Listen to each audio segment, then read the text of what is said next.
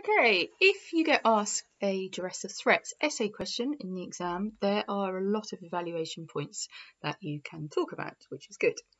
So first of all, the burden of proof is correct. It follows Article 6 of the European Convention on Human Rights that the defendant is entitled to a fair trial. So they do not have to prove anything. The burden is on the prosecution.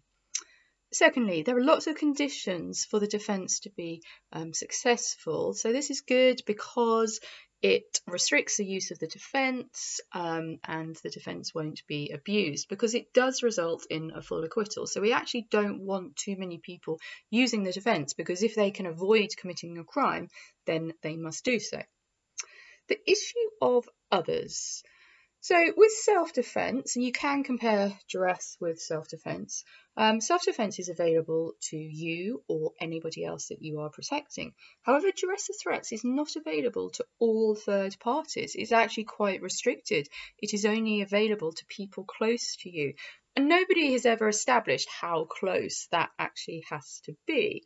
Um, and you know, morally, you might want to act to protect a stranger, but the defence will not be available to you.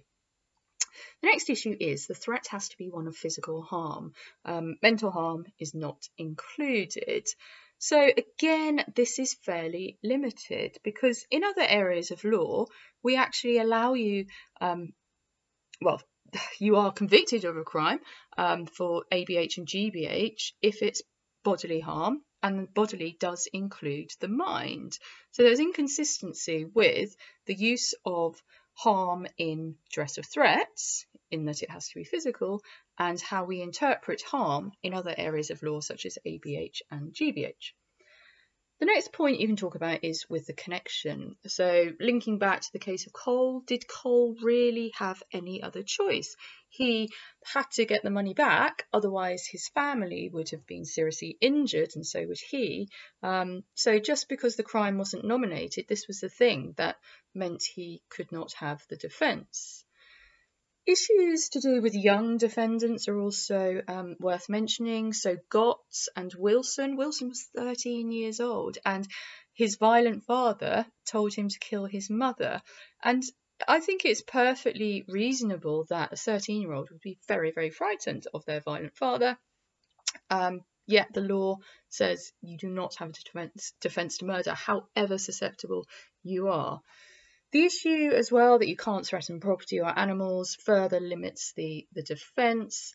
Um, and actually, just going back to Gotts, Gotts, um, the attempted murder case, he did not have a defence of duress. However, had he been charged with Section 18, he would have had a full defence. And that decision was only 3 to 2. So this shows that judges um, were a bit uneasy about it. They didn't you know, fully agree. It wasn't a unanimous decision. And they actually, in one of their um, speeches, one of the judges called for Parliament to intervene.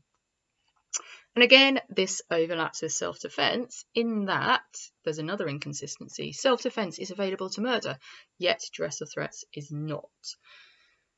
Okay, when you're looking at the fact it has to be a threat of death or serious injury, threat to expose a secret is not enough. Now, in this day and age, you have vigilantes, vigilante justice, and if you expose that somebody had a criminal conviction or was a convicted sex offender, particularly, um, that could actually indirectly lead to violence from vigilantes. And yeah, what we're saying is a defence is not allowed. It has to be serious injury, but it has to be direct serious injury. So it would be interesting in the future if such a case comes up. The case of Bowen perhaps is a little bit unfair. Surely low IQ is a relevant characteristic. Today in modern society, um, drug dealers will pick somebody who's vulnerable and deal drugs out of their house. So a lot of county lines cases do involve vulnerable people being targeted, yet we are saying they will not have a defence of duress.